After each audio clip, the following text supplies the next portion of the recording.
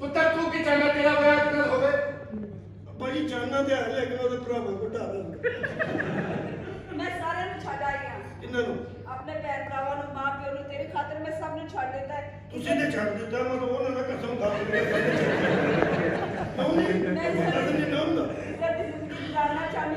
ਮੈਨੂੰ ਆਪਣੇ ਕਦਮਾਂ 'ਚ ਜਗ੍ਹਾ ਦੇ ਦੇ ਕੰਦਿਆ ਹਾਂਜੀ।